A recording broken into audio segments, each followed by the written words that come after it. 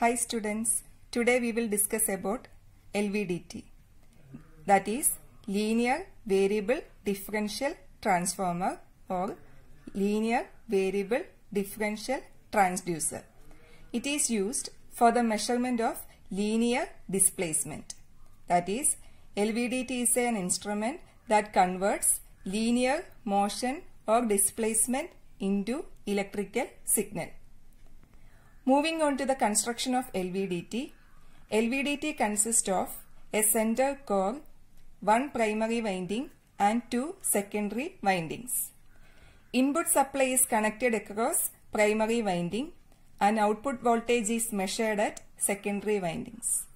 Few conditions that are to be satisfied for the secondary winding and those are first condition secondary winding 1 and secondary winding 2 must be connected in series. Second condition, they must have equal number of turns. That is, the total number of turns in the primary winding 1 must be equal to total number of turns in the secondary winding 2. Third condition, both the secondary windings are connected opposite to each other. That is, one of the secondary winding wound in anti-clockwise direction and the other one must be connected in clockwise direction. Then only the net output voltage will be the difference in voltage between two secondary windings. If V1 is the voltage across secondary winding 1 and V2 is the voltage across secondary winding 2, then the net output voltage V0 is equal to V1 minus V2. The earlier diagram was a schematic of LVDT. This figure shows the actual assembly of an LVDT. Primary and two secondary coils are wound on a hollow cylindrical rod. The two secondary coils are connected in connected with each other in series opposition. The movable soft iron core is placed inside the hollow cylinder. The moving system whose displacement has to be measured is connected to this core. Depending upon the position of the core, the output voltage varies. Let's now understand how this LVDT works. When an AC supply is given to the primary winding, a variable magnetic field is produced. This interacts with the secondary coil and EMF is induced in two secondary coils, V1 and V2. Based on the position of the core, we can divide the whole working into three different cases.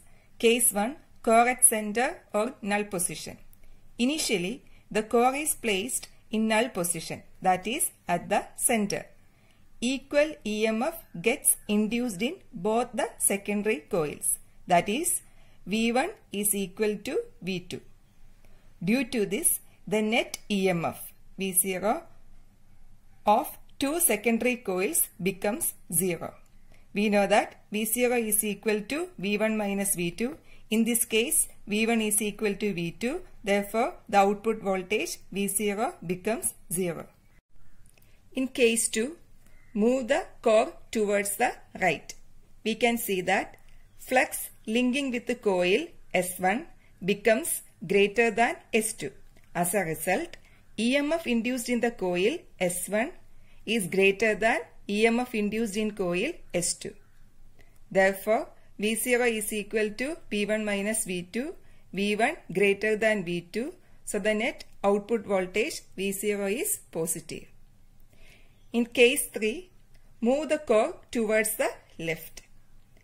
We can see that EMF induced in coil S2 is greater than EMF induced in coil S1. Therefore, V2 greater than V1. V0 is equal to V1 minus V2 is negative.